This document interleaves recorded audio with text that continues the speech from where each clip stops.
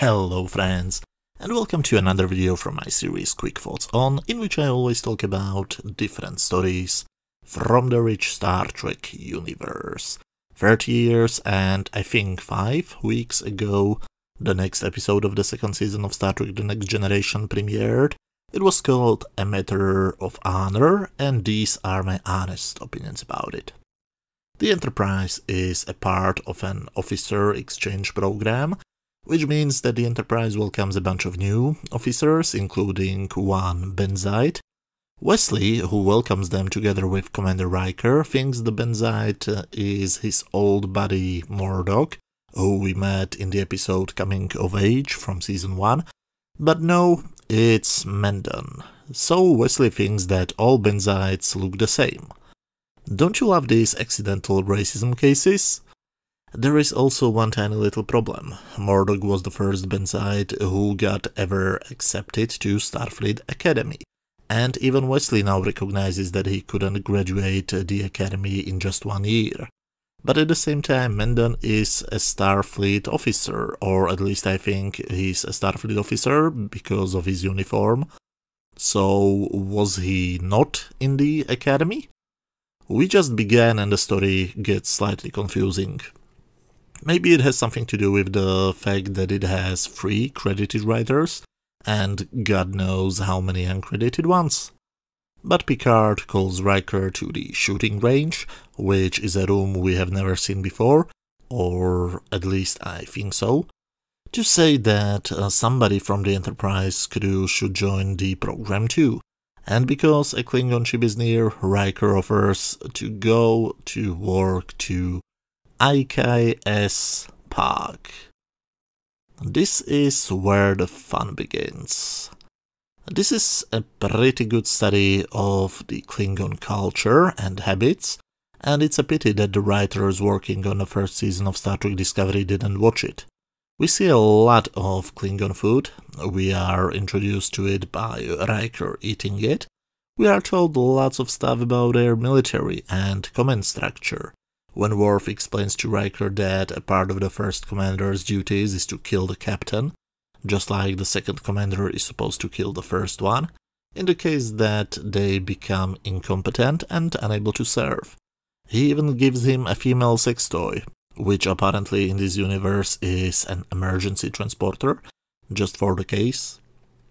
Meanwhile on the bridge, Mendon is being a pain in the ass and trying to improve everybody's work, which is not the best idea how to make friends in a new job. I had to also learn it the hard way in my first job. Mendon then tries to do a scan of the IKS Pagh when he notices some parasites on the neck of the ship. He doesn't report about it, instead he just investigates the parasites himself. The intended message of Mendon's subplot is clearly that diversity is our strength, but they talk about the only diversity which really matters the diversity of opinions and experiences. When Riker becomes the new first officer of the Klingon ship, he first has to smash the head of his second officer to the console he, to give him a lesson that he shouldn't question his command. Now, this show delivers some really confusing messages. We have two storylines in the main one, Riker goes to the Klingons to learn something from the Klingons.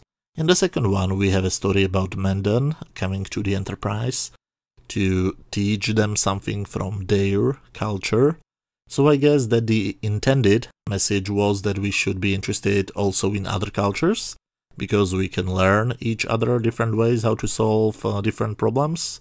At least I think that was the intent.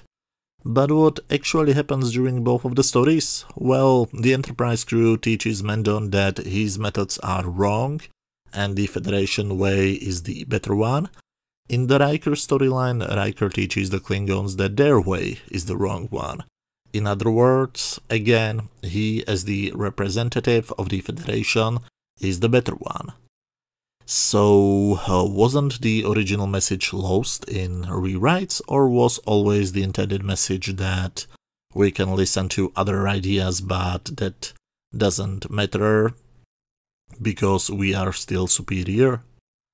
But anyway, the Pagh captain soon finds out about the parasites, but he thinks that the Enterprise has used some new classified weapon on their ship.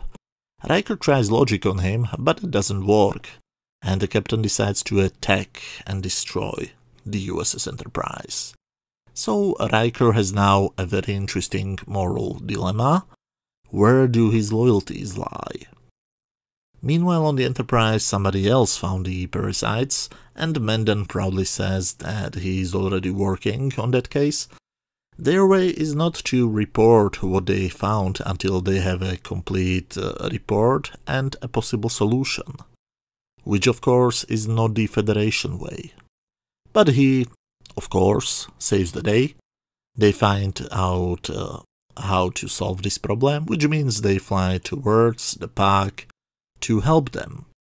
The Pagh captain notices them, which means that he, because he's uh, really paranoid, thinks that the Enterprise is planning to finish them and prepares to die in an honorable battle. Riker questions his captain's decisions, but he doesn't get punished. Strange. When the second officer questioned Riker, Riker assaulted him. When Riker does something pretty similar, the captain basically ignores it. Why? Not that I'm complaining, I'm just confused a bit. When the atmosphere on the Klingon bridge gets more serious, Riker pulls out his sex toy, and I don't know what he plans to do with it. Is he planning to beam out during the planned fight? Or is he planning to do just what happens? Because to me it seems almost like a coincidence that the captain notices his thingy and asks him to give it to him. So Riker gives it to him, and of course, the Enterprise immediately beams him to the bridge. They are really surprised when, instead of seeing their first officer, they suddenly see the Klingon captain materialize on the bridge. He tries to pull out his weapon, but Worf shows why he's on the ship and stuns him. Really great stuff. Riker takes command of the Pagh and pretends that he wants to continue the mission of destroying the Enterprise, but instead he lets them fix the Pagh and he takes the captain back. So what does the captain do to Riker for his actions? He punches him. I honestly expected him to kill Riker or that they will have some fight to the death or something like that. But no, he just punches Riker and that's it. He can return to the Enterprise. So, what did we learn? We actually learn surprisingly lot about Klingon culture. Most of it is in one long scene which I didn't talk about in detail because they're just dumping exposition on us. And I immediately understand why the Klingons are one of the most beloved alien races from the Star Trek universe. There just is something in the way they talk about honor which talks to probably every man especially to young or depressed men, and uh, maybe even women, I don't know, I have never been a woman. And judging from what I know from my online presence at different Star Trek forums and fan sites, or even from seeing the cosplays, the vast majority of people who love the Klingon culture are men. The rest of the episode, however, is nothing really special. It's not bad, but it's highly forgettable, also, the morals of this story are pretty confusing, at least to me, but maybe I'm just dumb. On my standard scale from 0 to 10, where 0 is complete garbage, 10 is a masterpiece, and 5 is just average, I would give this episode 6 out of 10. The Klingon culture scenes are great, the directing is really great, as always, with Rob Bowman at the helm, but the main story is kind of weak. It has three credited writers and at least two uncredited writers, and you can clearly feel it. It feels like every writer has uh, his own or her own motivation to telling the story. But anyway, the next episode was clearly, and I mean clearly, great. The Measure of a Man, but that's a story for next time. Thank you very much for watching. Tell me what did you think about this video and about this episode. Did you love it, hate it, or agree with my slightly above average rating? Thank you very much for watching and see you very soon with a video about the next episode of Star Trek Discovery. Bye.